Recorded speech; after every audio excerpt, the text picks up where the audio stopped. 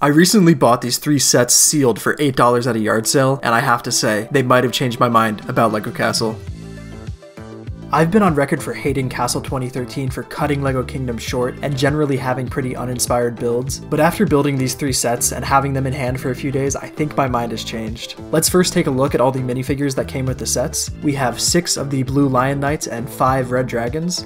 I've always said that I appreciate Castle 2013 for having some really beautiful minifigs and graphic design work, and now that I have them in person for the first time, I have to say I like them even more than I did before. Taking a look at the Blue Lions first, we have three different variations of torsos. One has a printed breastplate over cloth, while another has a set of chainmail, and the last fig has a simple cloth outfit. I absolutely love that they gave this faction so many different torsos in just three sets. We just don't see that kind of variation and diversity when it comes to modern castle figs. It actually kind of harkens back to the era of Castle where we would get different torsos for the same faction. We also have a heavily armored knight that comes with a pair of printed plate legs and a really nicely detailed breastplate piece along with what is probably my personal favorite castle helmet. And all of their helmets come in the old metallic silver color which is really striking. Let's now take a look at the red dragons.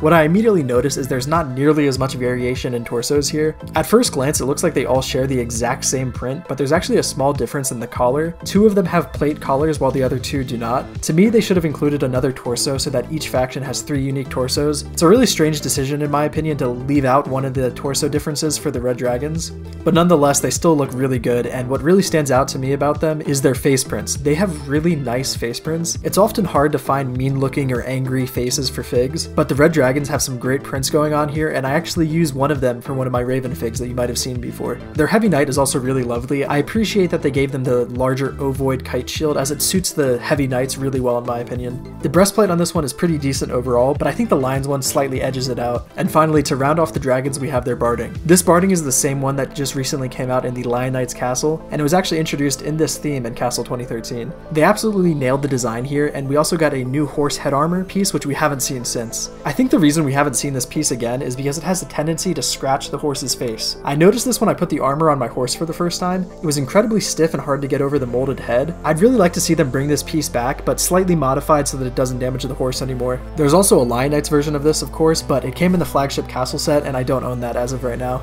Something I also did was take the torsos from the Heavy Knights because they're covered by breastplates and I gave them to two other figs so that I could have two extra figs for each faction. I'd recommend everyone do this for any figs they have that have a breastplate with a really nice print underneath. It's a way to kind of get more minifigures for what you have. Finally, to round off the minifigure section of this review, I wanted to point out something that I was left pretty disappointed by. There is a massive lack of shields in these sets. The three sets include a whopping 11 minifigures, which is really great, but it only included four shields for the figs. Super weird. Now, there were two more shields included for the Lions, but it was part of the build, so I'm not really counting them, as that's not what they're intended for. Even if you do count those, there's still a massive lack of shields in these sets. This is really surprising because other than this, I think they really nailed the figs in this theme. Alright, let's now move on to the builds. I'll first start off with the smallest build which came from set 70400, the Forest Ambush. This set is a battle pack, so the build is super minimal, but I actually really like that when it comes to battle pack builds. It's a small terrain build and a moving cart. Now this is a formula that LEGO loves to use for its battle packs, most notably the two Mandalorian battle packs use the same format, with a turret or landscape build along with a small vehicle. I think this is a really nice format for battle packs. Now there's a surprising amount of play possibilities here with such a small build of under 100 pieces. These flick fire missiles immediately brought me back to my childhood when I first started building the set. Do you remember how much these little bastards would hurt when you flick them? It is not a feature that I miss. I'm so glad that we have spring-loaded shooters and stud shooters now. As far as battle packs go, I think this is just almost perfect. A decent build with great figs, what else could you want from a battle pack? If we get a new castle theme, I'd love to see LEGO use this set as a reference to what makes a really good castle battle pack. Let's now move on to the second largest of the three sets we have here today. It is set 70401 Gold Getaway. Now this set actually came with less figures than the smaller battle pack set, but it included a meteor build and a horse.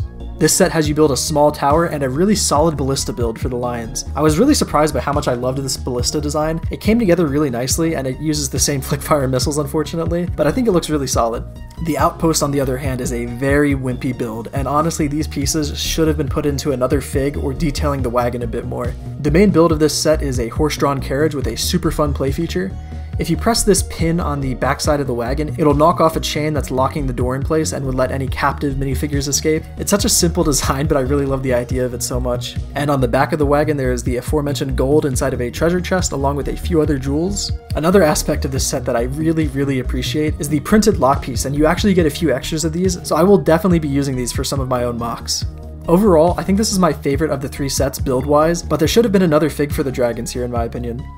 Moving on to our largest and final set of the video, set 70402, the Gatehouse Raid. The set came with four figures and another horse, but this time with a barding. It's also the only of the three to include a sticker sheet. Unfortunately, the only things that were missing from the sets that I bought was the sticker sheet for this set and a plate for this set. So the base you see here in brown is actually meant to be green, and the two plastic banners are meant to have crown stickers on them, but I don't currently have them. I will be ordering them soon though. Alright, so first we have a small rolling catapult for the dragons. I'm not sure if you noticed, but a lot of the Dragon Knight builds here have these red cheese slopes on them, and I think they're meant to represent dragon scales. I just noticed this while writing the script for the video, and I think that's an awesome little design cue, so kudos to the designers for doing that. It's a really, really nice inclusion. Now, the catapult isn't anything special, but it gets the job done. The main course here is the gatehouse, which is actually modular. I absolutely love stuff like this. You could actually connect this set to the large Lion Knight's castle that came out of the same wave. This isn't something I see talked about a lot when I see discussions about Castle 2013, but I absolutely love this modular function. The two sets had the same pin modular function, so you could create a lot of different setups and even build your own modular walls to add on to the sets.